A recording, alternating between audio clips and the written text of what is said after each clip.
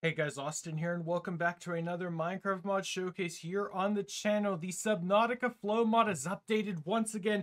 This is update 1.1.8, the Lava River update for Minecraft 1.20.1. If you guys have been enjoying the mod showcase for this mod on the show, consider as always leaving a like on the video, subscribing if you're new, and of course the download for this mod and all of its update goodness will be linked in the description. You can check it out for yourselves leave a comment down below and let me know what you're most excited for this update. Let's get into it. So the first thing that's been added in this update is the lava larva. This being the lava river update, the lava river was a lava river was a piece of location slash land in the Subnautica mod that added in all these cool creatures. So we are going to check out the lava larva on land. This is what it looks like. 15 health. It's pretty cute.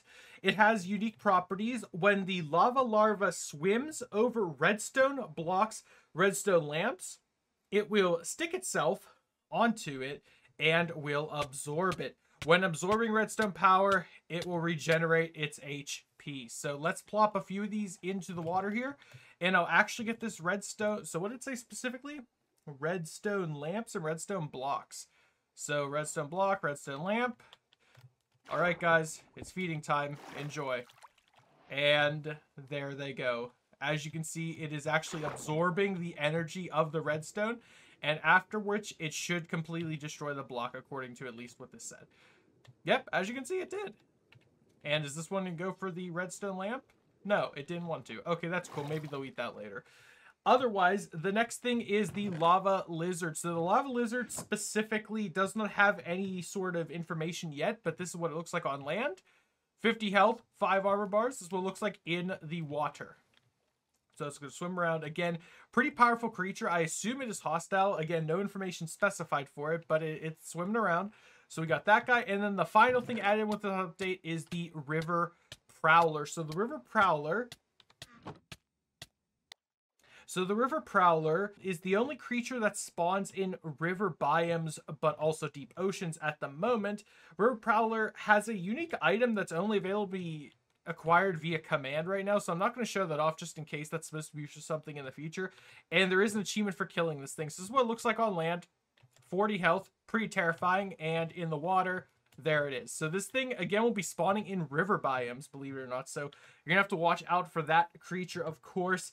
And other than that, the other new addition was that the PDA now has a specific crafting recipe. So it is crafted with redstone, tinted glass, iron ingot, two, two iron nuggets, and four redstone lamps. And there's my Prowler achievement for obviously defeating the Prowler. So these are the new creatures. You guys can let me know in the comments who you like the most, which design you like the most, which one you're most intimidated by. And there's a few changes as well. They've changed the reach of the symbiotes, now being a bit less. They've changed the snow stalkers, baby and adult spawn only in frozen rivers now. Changed that peepers and bleeders now also spawn in rivers. The Arctic peepers now also spawn in frozen rivers and remove the glowing effect from the Arctic peeper, peeper, and bleeder. So guys, that is pretty much it for this update. It's a short update. It came out sort of sporadically. I didn't expect this after already uploading a video today, but I decided to upload a second video just because this update's brand new and fresh off the shelves. I figured you guys would want to see it. But not too much added in other than these two, three new fish Again, really excited for this update to see more of it in the future. What else is going to be added in? I'm not entirely well versed on all the Subnautica creatures, so I'm not sure which ones we don't have yet versus all the ones that we do. Someone can let me know if there's a specific one that you know of that we are missing. And, you know, we'll see how that goes, if that's going to be added in the future or not. But either way, I hope to see you all in the next video. Have a great day, everyone. Stay safe. Goodbye.